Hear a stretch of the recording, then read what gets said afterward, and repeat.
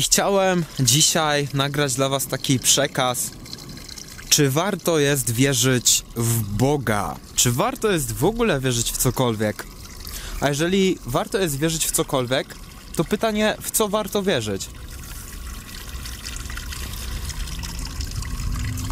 Kiedyś, gdy poszukiwałem takich najlepszych wzorców na osiągnięcie w życiu sukcesu i w ogóle badałem ludzi, którzy się rozwijają, którzy się samodoskonalą, ludzi, którzy osiągają swoje życiowe mistrzostwo i w ogóle są najlepsi w tym, co robią. I odnalazłem taki ogólny, powtarzający się wzorzec. Mianowicie zauważyłem, że ludzie, którzy osiągają sukces, zawsze wierzą w coś większego od nich samych. Bez względu na to, co by to nie było. Czy jest to Bóg, wyższa siła, wyższe ja, świadomość, nadświadomość, podświadomość, cokolwiek, co przewyższałoby człowieka, cokolwiek, co sprawiłoby, żeby człowiek zaczął wierzyć w coś większego od niego samego. Żeby zawsze miał w głowie obraz czegoś większego od siebie samego, żeby miał do czegoś jakiś cel, za, co, coś za czym mógłby dążyć, coś czemu mógłby się poddać, coś czemu mógłby zaufać, coś czemu mógłby się poświęcić. I zdałem sobie sprawę, że jest to coś, co się powtarza.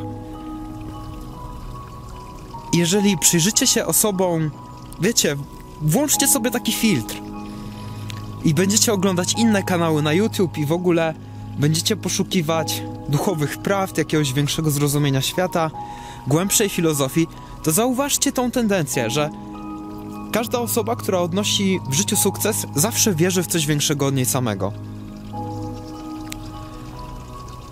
To nawet fajnie opisał David Hawkins w swojej książce Siła czy Moc. On napisał, że osoby, które się poświęcały, osoby, które wierzyły coś większego od nich samych, mieli większą łatwość w pokonywaniu uzależnień i nałogów i w ogóle byli szczęśliwsi.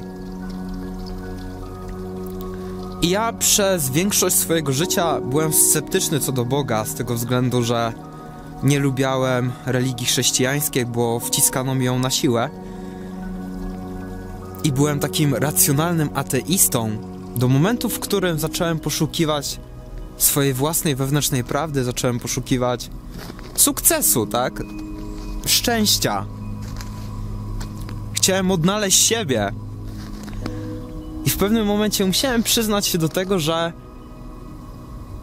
wiara w Boga, wiara w cokolwiek, nawet wiara w święty śnieg, tak? Załóżmy, że istnieje święty śnieg, który jest w stanie zbawić całą ludzkość. I wystarczy, że uwierzysz w znaczenie i moc świętego śniegu. I nagle twoja dusza rozkwitnie i pojawią się promienie słońca i światło na ciebie spłynie. I w twoim życiu zamanifestuje się obfitość i dostatek i błogość. Pod warunkiem, że dodatkowo zasubskrybujesz mój kanał i będziesz jego stałym widzem. Taki disclaimer. I wtedy wszystko zacznie się układać po twojej myśli. I ja sam osobiście zauważyłem w swoim własnym życiu, że gdy zaczynam wierzyć w cokolwiek większego, tak? Zaczynam wierzyć w projekt Find Yourself, zaczynam wierzyć w ludzi, zaczynam wierzyć w to, że to, co robię, jest dobre. I nie dlatego, bo wierzę w siebie i w swoje własne ego, tylko dlatego, że przekraczam w ten sposób samego siebie, że robię coś więcej, tak? I wierzę, że to, co robię, jest dobre, że to naprawdę jest coś więcej. To to wszystko zaczyna się układać. To, co robię, to jak to robię. Rzeczy się po prostu dzieją. I nieraz robię różne rzeczy, które są spontanicznie zaplanowane. Ja tak mówię na to, e, no bo w gruncie rzeczy my sobie możemy w życiu planować, jak nam się podoba, ale życie i tak pokaże nam to, co ma nam pokazać i przed tym nie uciekniemy. Ale zazwyczaj rzeczy się układają nawet jeżeli nie do końca dysponuję pełną informacją albo niekoniecznie jestem pewny siebie w tym, co robię, tak? Wtedy zaczynam być pewny siebie z tym, że nie jestem pewny siebie i wszystko jakoś się dzieje. Ale nie przedłużając tego nagrania, bo chciałem, żeby ono było dzisiaj krótkie. Czy warto wierzyć w Boga? Tak, warto wierzyć w Boga, pod warunkiem, że ten Bóg umożliwia tobie przekroczenie samego siebie i daje ci solidny powód do tego, abyś miał coś dla samego siebie, dlaczego miałbyś wstawać codziennie rano z łóżka. Tym Bogiem mogą być Twoje dzieci, tym Bogiem może być Twoja rodzina, tym Bogiem może być cel, jaki chcesz osiągnąć, tym Bogiem może być Twoja inspiracja, tym Bogiem może być medytacja, duchowość, chęć uzyskania oświecenia, tym Bogiem może być. Ty możesz być Bogiem. Ty możesz być Bogiem.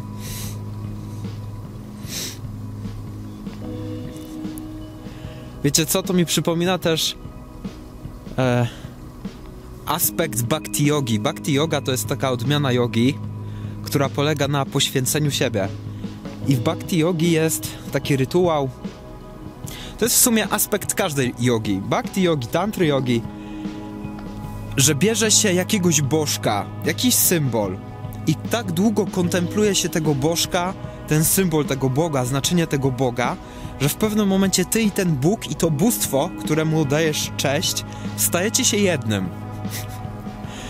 I wiecie, co jest w tym najlepsze? Najlepsze jest to, że to działa. Nieważne, że to brzmi trochę tak sekciarsko, jakbyśmy tutaj mówili o jakimś kulcie. Ważne, że to jest to, co działa. I to jest dokładnie to, co dzieje się w religii chrześcijańskiej. Ja myślę, że katolicy nie do końca o tym wiedzą, choć po części mają sens tego i zrozumienie tego, że to, co się dzieje, gdy zaczynamy czcić Jezusa Chrystusa, to jest to, że przekraczamy własne ego i oddajemy cześć symboli Boga, tak? Bo Jezus tak na dobrą sprawę nie jest osobą, on jest symbolem Boga, on jest uosobieniem Boga. I gdy my odda oddajemy mu cześć, czyli zaczynamy wierzyć w coś większego od nas samego, tak? To wtedy zaczynamy zjednywać się z tym, co jest od nas większe. I to jest jedna ze ścieżek na uzyskanie oświecenia.